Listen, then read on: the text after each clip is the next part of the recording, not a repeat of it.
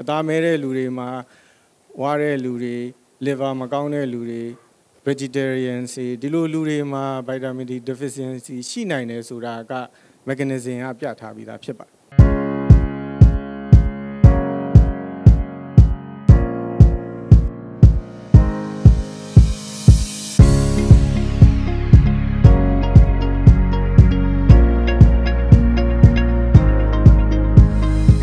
another elderly patient မှာပဲ70 euro အဲ့တော့အဲ့ဒီအမျိုးသမီးကြီးကလည်းသူကသူ့ရဲ့ဆေးတွေကိုကျွန်တော်တို့ကဟိုဆေးတွေစစ်တာကတော့တော်တော်လေးမအောင်မြင်တဲ့အလုပ်လို့ပြောရမှာပေါ့နော် clinic မှာလာတဲ့ခါမှာဆေးတွေစစ်ရင်ဆေးကကြမ်းခဲ့တယ်မပါဘူးအဲရေးထားတယ်ဟိုဆရာကြီးရေးထားတယ်ဒီဆရာကြီးရေးထားတယ်ဒါပေမဲ့အဲ့ရေးထားတာကိုတော်တော်ကြိုးစားဖတ်ရတယ်ပေါ့နော်အဲ့တော့ကျွန်တော်တို့ကဟိုဆေးကိုအတိအကျမသိတဲ့ခါကျတော့ အဲ့ဒီအထုပ်ကိုသိလို့ကျင်တာပဲဒါကြောင့်မလို့ကျွန်တော်တို့ဒီဟို medical management system တခုမှာဆေးထုတ်ကြီးပါလာရင်သိကောင်းတာပေါ့အဲ့တော့ဒါတော့မှဆေးထုတ်ကြီးကြီးလိုက်တော့စောစောကဆရာဟေးရဆောင်ပြောသလို polypharmacy ဆိုတဲ့ဆေးပေါင်း20 30လောက်ပါသွားရင်လည်းတော်တော်စိတ်ပြက်သွားတာပေါ့နော်ဘာလို့လဲဆိုတော့အကုန်လိုက်ဖတ်ရတာတချို့ဆေးတွေကလည်းပေါက်နေတော့နာမည်မပေါ်ဘူးပေါ့အဲ့ဒီမှာအဲ့ဒီအမျိုးသမီးရဲ့ဆေးထုတ်ကိုကြည့်လိုက်တော့ vitamin D တွေ5000စီပါနေတယ်နော် အဲ့1000တွေပါတော့ကျွန်တော်ကအဲ့ဒါဘာလို့တောက်တာလဲကိုယ့်ကိုတောက်တာလားဆရာဝန်ညွှန်လို့တောက်တာလားမဟုတ်ဘူးတဲ့ကိုယ့်အကိုတောက်တာတဲ့ဘာလို့လဲဆိုတော့တဲ့နော်သူကအနားမှာရှိတဲ့လူတွေကပြောကြတယ်ဗောလေအရင်တော့အကြောင်းဆရာမကြီးဟောင်းဆိုတော့သူကနည်းနည်း educated ကလည်းဖြစ်တယ်အဲ့တော့တချို့တွေကပြောနေကြတယ်တဲ့ vitamin D deficiency တွေကအခုပေါ်တယ်ပေါ်တဲ့ခါကျတော့ဒါတောက်ထားရင်မမဘူးပေါ့ကြီးလာရင်အမျိုးသမီးတွေဆိုအထူးသဖြင့်အယိုးတွေကျိုးလွယ်တယ်ဘာညာဆိုတော့ဒါဟုတ်တော့ဘယ်လောက်ကြာပြီလဲဆိုတော့နှစ်နှစ်လောက်ရှိပြီတဲ့ အာကျွန်တော်နည်းနည်းလေးစိတ်ပူသွားတယ်ပေါ့နော်အဲ့တော့ဆိုလိုတာက not only multivitamins ဒီလို single vitamin supplement စီဒီလေအဲ့လိုတောက်နေတဲ့ခါကြလို့ရှိရင်တော့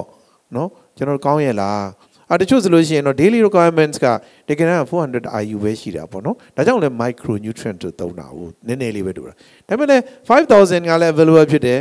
အခုဆိုကျွန်တော်တို့ကျွန်တော်ထင်ပါတယ် Z farm က nano ဆို တောင်းကနန်း50000 60000နေတဲ့ရလာပြီဆိုတော့အဲ့ဒီဟာလေးနဲ့ပတ်သက်ပြီးတော့လဲကျွန်တော်တို့ကလူနာတွေကိုပေါ့လीနော်နောက် prescribe လုပ်မဲ့ဆရာတွေကို share လုပ်ဖို့အတွက်က vitamin D ကိစ္စလေးပေါ့အားလုံးသိတဲ့အတိုင်းပါပဲ fat soluble vitamin C D EK တဲ့ပြဿနာလေးနဲ့ပတ်သက်ပြီးတော့เนาะအဲ့ဒီကိစ္စလေးအဲ့ဒီ patient ကိုလည်းနည်းနည်း educate လုပ်ပေးပါအောင်ဆရာအောင်ကျော်သူ ဟုတ်ကဲ့ပါဆရာကြီး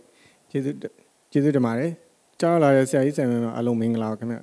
ကျွန်တော်ကတော့ multivitamin C ဟာအများတိုင်းကောင်းပါသလားဆိုတဲ့အချက်ကလေးဆွေးနွေးတော့မှာဖြစ်ပါတယ်တကယ်တော့20ရာစုအစ vitamin C ပေါ်ကစားတွေကစပြီးတော့ popular ဖြစ်လာခဲ့တာဟာ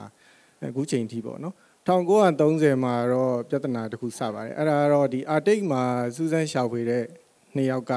လမ်းပြောက်ပြီးတော့ရိတ်ခါပြတ်သွားပါတယ်ရိတ်ခါပြတ်တော့သူတို့ကပါလာတဲ့ခွေးတွေကိုတတ်စားမှလားငတ်သေးကြမလားဖြစ်လာပေါ့နော်အဲ့ခါကျတော့ နောက်ဆုံးတော့မတက်တာတက်ခါစားလိုက်ကြရတာပေါ့စားတဲ့ခါကျတော့စားပြီးသိမ့်မကြဘူးအကြီးအကျယ်နေမကောင်းဖြစ်ကြပါတယ်နေမကောင်းဖြစ်ကြတော့တယောက်ကတေတယ်တယောက်ကတော့တေလူနီးပါးဖြစ်သွားတာပေါ့နော်အဲ့တော့ဘာကြောင့်ဒီလိုဖြစ်ရတာလဲအဖြေရှာတဲ့အခါကျတော့သူတို့ကခွေးသားစားတဲ့ပြင်ခွေးအသေးပါစားကြတာပေါ့နော်ခွေးသေးစားတော့ဘာဖြစ်လဲဆိုတော့အဲ့မှာ vitamins A အများကြီးပါတော့ vitamin A toxicity ဖြစ်ပါတယ် ဒီဇလန်လေးဟာ vitamins တွေသိနိုင်တာကိုစတွေ့တဲ့အဖြစ်အပျက်ကလေးတစ်ခုပေါ့နော်တကယ်တော့ vitamin က toxicity ကရှားတယ်လို့ဆိုရမှာဖြစ်ပါဘာလို့ဆိုတော့ recommended daily allowance အစ1000လောက်ရှိမှသူ toxic ဖြစ်ဒါအပြင်ဒီ retinal ကို metabolize လုပ်တာ one way ပေါ့နော်ဒါအပြင် precursor ဖြစ်တဲ့ဟို carotene ကအစားများရင် hyperkeratosis ပဲဖြစ်ရင်ဖြစ်မယ် vitamin A များမတော့ဘူးသူက pro vitamin A to A step မှာထိန်းထားတာပေါ့နော်ဒါပေမဲ့ animal source ပါဇက်ကဒီတိုင်းတောက်ရင်တော့နည်းနည်းပဲအများကြီးစားရင်ပဲဖြစ်ဖြစ်စားတာကြာသွားလို့များရင်ပဲဖြစ်ဖြစ် toxicity ရတာပေါ့နော်နောက်ပြဿနာတစ်ခုကသူကသူ့ရဲ့ symptoms က GI ရော CNS ကော dermato ရော musculoskeletal ရော deficiency ကတော့ pathognomonic sign တွေရှိပေနဲ့ toxicity ကြတော့အဲ့လိုမရှိတော့ symptom တွေက multi system involve ဖြစ်ပြီးတော့ big ဖြစ်ပါတယ် big ဖြစ်တော့ diagnosis ကကျွန်တော်ပေးခြင်း message လေးတစ်ခုကတော့ toxicity တွေနဲ့ပတ်သက်ပြီးတော့ high index of suspicion လိုနိုင်ပါတယ်ခင်ဗျနောက်တစ်ခုကအခုခေတ်စားလာတဲ့ vitamin D ပေါ့ခုနဆရာကြီးပြောတယ်ပေါ့နော်မကြခင်က extra skeletal effects တွေကြောင့် vitamin D ဟာတော်တော် popular ဖြစ်လာပြန်ပါတယ်ဒါပေမဲ့ဟိုအရင်လုပ်ခဲ့တဲ့ study တွေတဲကကိုပဲ toxicity ရဲ့ risk ကို describe လုပ်ထားခဲ့ကြတာဖြစ်ပါတယ်အဲသူကတော့အမှန်မှန် RDA ရဲ့၄၅စားလောက်နေမယ် toxicity ရနိုင်ပါတယ်အဲသူတို့ study တွေထဲမှာဟိုပဲအဲတနေ့တနေ့စားတာ3000ကျော်ရင်ဒါမှမဟုတ်လို့ရှိရင်လည်း blood level တိုင်းရင်200 nanogram ကျော်ရင်တော့ toxicity ဆိုတာ describe လုပ်ခဲ့ကြတာဖြစ်ပါတယ်အထူးခြားတာသူ့ရဲ့ toxicity ရဲ့ manifestation တွေက hypercalcemia ကြောင့်ဖြစ်တာအဲ့တော့ကြောင့်ဒီ toxicity ရဲ့ risk က vitamin D တခုတည်းပေါ်မူတည်တာမဟုတ်ဘဲနဲ့အဲ concomitant calcium နဲ့ phosphate intake ပေါ်မှာမူတည်နေတာပေါ့အဲ symptom တွေကတော့အားလုံးသိတဲ့အတိုင်းပါပဲ bone stone groans throat နဲ့ moans ပေါ့နော်ဒီ symptom တွေနဲ့လာတယ်ဒါကတော့ acute ပေါ့နော်အဲ chronic ဆိုရင်တော့ calcium တွေများလာရင် calcinosis ပေါ့အရေးပြားမှာဆိုရင် calcinosis cutis ဒါကတော့ calcinosis cutis ရဲ့ one of the classical cause ပေါ့နော် vitamin D ကအဲ့တော့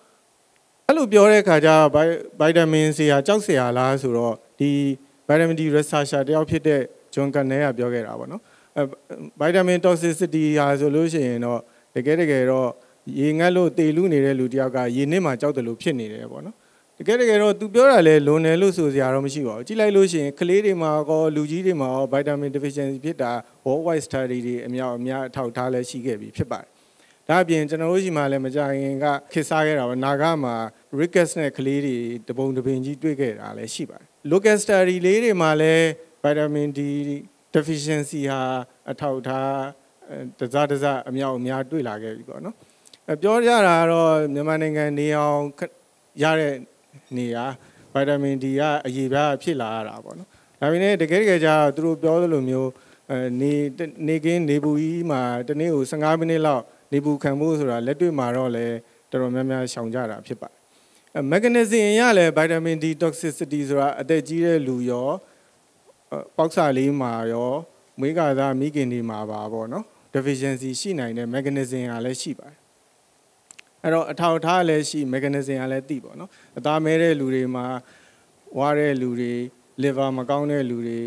vegetarian စီဒီလိုလူတွေမှာ vitamin D deficiency ရှိနိုင်တယ်ဆိုတာက mechanism ကပြထားပြီးသားဖြစ်ပါတယ်ဒါအပြင်အခုသိလာကြတာကတော့ subclinical deficiency ပေါ့ဒါကတော့ silence epidemic လို့တောင်တင်စားကြပါတယ်ဘာလို့လဲဆိုတော့ general population ရဲ့တဝက်နီးပါးက deficiency ရှိတဲ့အထောက်အထားတွေ့ရတာပေါ့အဲ့တော့ဒါကလည်း clinician တွေက recognize မလုပ်တဲ့အတွက်တချို့ကဒါ morbidity mortality တော်တော်များများကို attribute လုပ်နေတယ်လို့လည်းညှိုးထိုးကြတာလည်းရှိပါတယ်ဒါဖြင့် deficiency ရှိရင် replacement ကတော့အကျိုးရှိပါမလားဆိုတော့ ရှိခဲ့သမျှအထောက်အထားတချို့ကလည်း replacement ကအကျိုးရှိတဲ့အတွက်ဒီလိုမျိုး media တွေကတော့မှလူတိုင်းက vitamin D tablet တောက်တဲ့နယ်မဟုတ်ဘူးလားဆိုပြီးတော့မေးကြထားတာလည်းရှိပါတယ်အဲ့တော့ကျွန်တော်အနေနဲ့ကတော့ဒီ vitamin D toxicity ကလည်းတကယ်လည်းရှိတာဖြစ်တယ်တစ်ဖက်က deficiency ကလည်း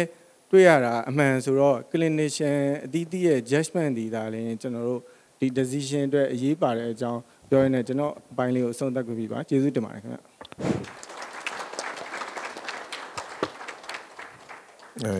ဆရာကျော်သူကျေးဇူးတင်ပါတယ်အဲ့တော့ကျွန်တော်တို့ဒီမှာ ADEK one of the fat soluble vitamins vitamin D ရဲ့ dangers ပေါ့နော်အဲ့တော့တကယ်တမ်း deficient ဖြစ်ရင်တော့ identify လုပ်ဖို့လည်းလိုတယ်အဲ့တော့ vitamin D deficiency ဒီနော် overt physical signs တွေနဲ့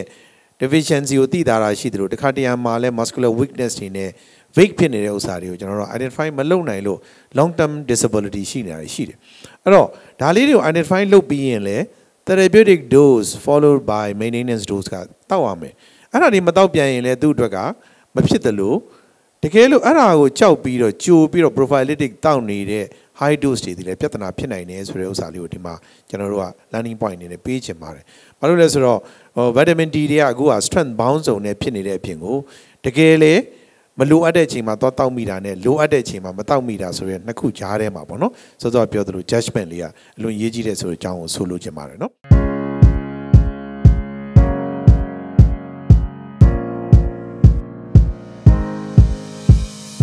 CFM, caring for well-being.